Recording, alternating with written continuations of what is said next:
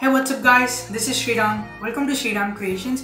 So in today's video I'm going to tell you something which is really important and also cool for almost all the students for who are preparing for exams. It will be very helpful for them. Especially we are going to deal with Google Lens and uh, kind of Google Assistant. So without wasting any time, let's get started.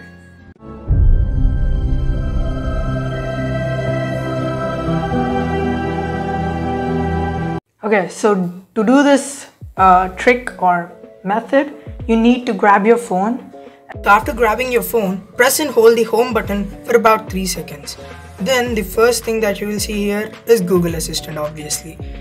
So after that, you can see an option called Google Lens over here. You can see that symbol right? When you press that, something like this will pop up. This is the interface of Google Lens.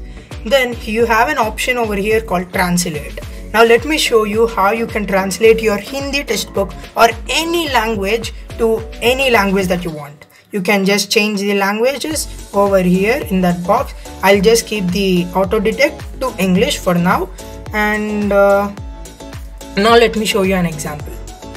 Okay, so here I have it Look, it auto detects the language which you are looking at and it translates to the language, whichever language you want. For example, I have English and I, translated it into English. So Hindi is trans translated to English and this and this can be done anywhere at any time within seconds the whole page get translated after that you can copy the whole text and you can just take a screenshot or no you can just uh, take a picture and then you can copy the text or you can send it to anyone or you can read it so this is how you can do that not only of hindi you can do any language to any other language also how is the trick guys let me know in the comment section so that's how you can use your google lens for studying not only you can translate it to telugu or english or hindi you can even do it for japanese also if you know how to read it then you can do it so this is how you can use your Google Lens effectively for studying as we are uh, being